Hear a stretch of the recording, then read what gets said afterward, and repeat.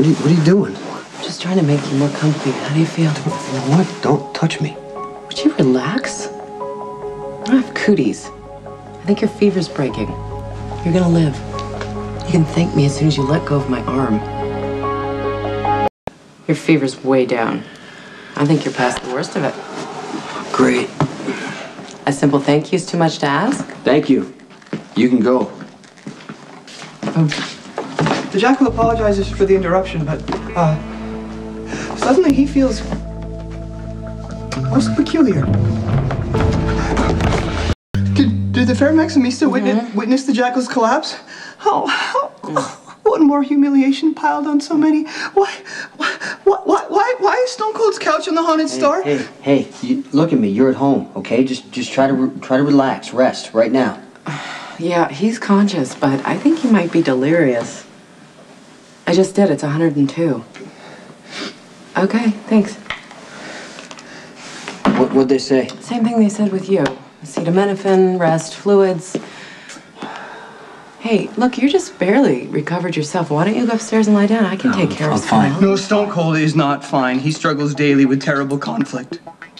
Oedipal in nature. It is the most basic of conflicts, the foundation of dynastic politics. The young king must inevitably replace the old one. As one waxes, the other wanes, and despite sentiment, loyalty, and natural reticence, the king must die. Long live the king. It is time for Stone Cold to play his part in the epic struggle. Your fever's spiky. You, you, you're talking crazy right now. I, you know what? I got this from here, okay? No, you know, if I stuck around and took care of you, I'm not going to abandon a sweetheart like Spinelli. Go, go easy on Stone Cold. He is in terrible turmoil. Is that right? Stone Cold struggles daily with the dire reality of an edi- inevitable destiny. You must come to loggerheads with your true father. Spinelli, my, my father's dead. Your biological father, the late and deeply lamented Dr. Alan, but in every other way, the parental role in Stone Cold's life has been Mr. Sir.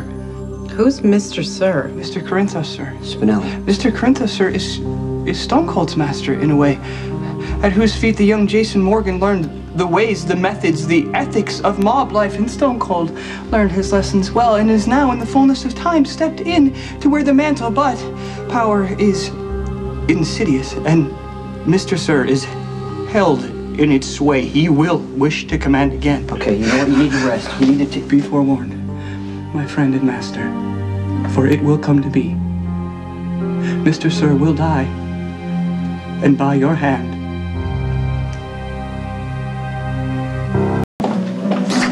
You must somehow subvert your fate. Allow me to be your Tiresias, your We're blind talk- we're prophet, as it were. about this in the morning. Oh, okay.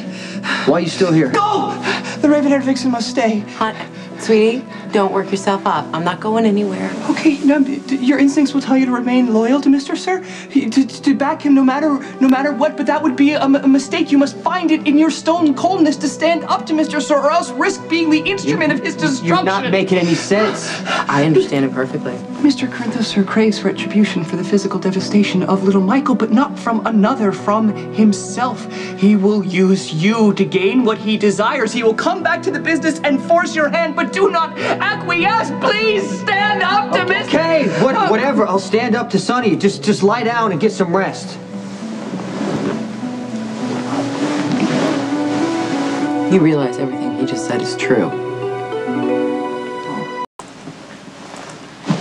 Your young friend is not only sick smart, he's also very perceptive, especially about the weird dynamic between you and Sonny. You're not one to talk about weird dynamics. He's babbling. He's got a fever. He was dead on. Sonny blames himself for what happened to Michael. He thinks he deserves to be punished. So he gives away the business that he spent his entire life building, just hands it over to you? That's not enough pain for Sonny. He's gonna convince himself that he wants it back, that he deserves it. You took it from him. So he will force your hand. He will get himself all worked up into a good mad, and then he'll make a run for you and he will maneuver himself into a situation where you're forced to kill him, saving himself the pain and the mess. And then finally, the punishment fits the crime. I don't deal in made up situations. You don't read a lot of Greek tragedies, do you?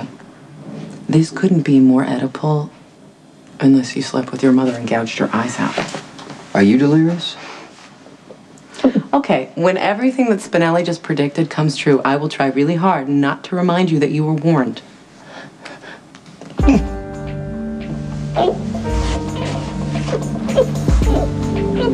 It's time to get him to a hospital.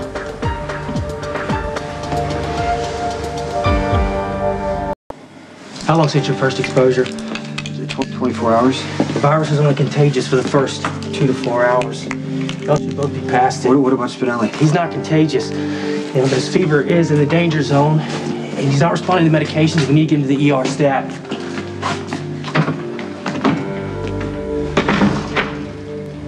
He's gonna be fine. Uh, we got them here in time. He's he's gonna be You, fine. you, don't, you don't know that. Sometimes the worst really happens.